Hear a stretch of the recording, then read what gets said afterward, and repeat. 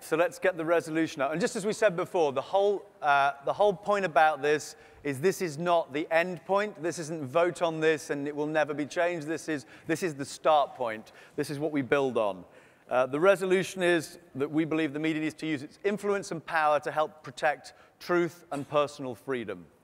And so we will go to the online vote. Remember, one, if you agree, two, if you disagree, or three, if you want to abstain. We can roll the vote now, please.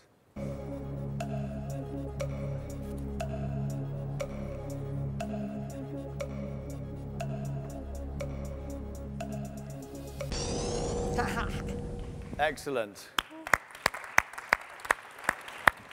I think one of the things we'll be talking to you about later is how we actually build on these start points, and there were some fantastic suggestions around the room. I mean, I think the whole idea about creating a One Young World media channel, I think the point about how we, we get much more positive news about Africa, so people view Africa as an opportunity and not a problem, how we use the power of social media, all those sorts of things are fantastic things to build into this, and we'll be talking at the end of the day about the process to do that moving forward.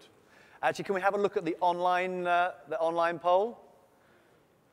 91%, excellent.